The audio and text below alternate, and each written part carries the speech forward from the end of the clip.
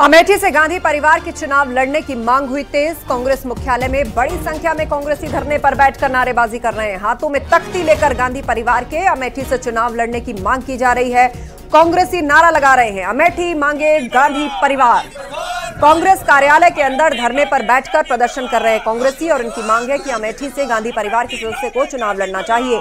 आपको बता दें, हाल ही में सूत्रों के हवाले से खबर ये आ रही है कि अमेठी और रायबरेली दोनों ही सीट पर राहुल गांधी और प्रियंका गांधी लड़ने के लिए तैयार नहीं है और ये फैसला राहुल गांधी का है। उनको ऐसा लगता है कि ये सियासी लिहाज से सही नहीं होगा। और ज़्यादा जानकारी के लिए हमारे सहयोगी पप्पू पांडे अपनी पैनी नज़र बना के रखते हैं। अमेठी से जुड़ी हर खबर पर। जी पप्पू।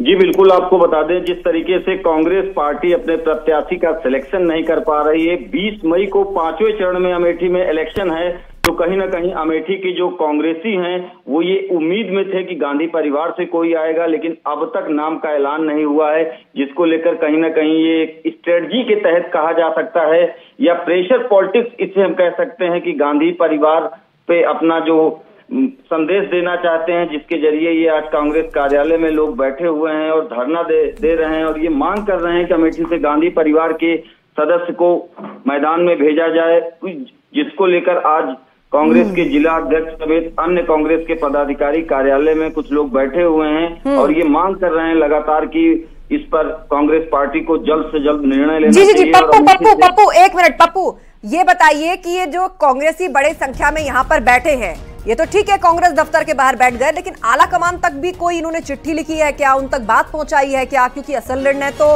खुद गांधी परिवार को लेना है। जी, बिल्कुल आपको बता दें, अमेठी का जो कांग्रेस संगठन है, वो सिर्फ़ इस बात का दावा कर रहा है कि अमेठी से गांधी परिवार लड़ेगा।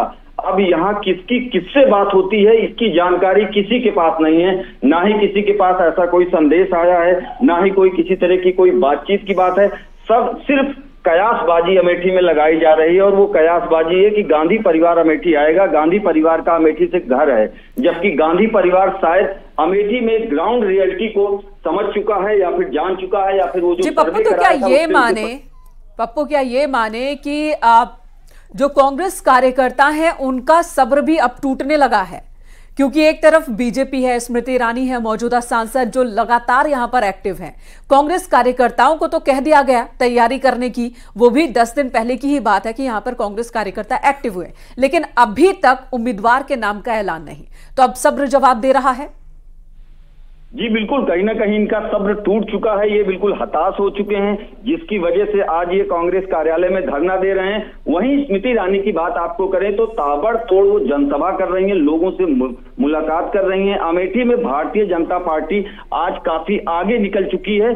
ये 2014 वाली भारतीय जनता पार्टी अमेठी में नहीं है, ये 2024 की भारतीय जनता पार्टी है, जिसके पास आज दो लाख से अधिक कार्यकर्ताओं की एक फौज है इसके साथ अमेठी में एक अच्छा खासा जनाधार है। कहीं ना कहीं कांग्रेसी इस उम्मीद में थे कि राहुल गांधी या प्रियंका गांधी आएँगी फिर से गांधी परिवार के लोग यहाँ आना जाना होगा जिसको लेकर के किसी तरह की कोई इनको मैसेज नहीं मिल रहा है किसी तरह की कोई जानकारी नहीं मिल रही है। जिसको लेकर के आज ये पूरी तरीके से हताश बिल्कुल ये हताश और निराश हो गए। आखिर कार्यकर्ताओं के पास चारा भी क्या? वो ये मानते थे कि अमेठी से जिस रिश्ते की बात गांधी परिवार करता रहा है वो इस तरीके से आज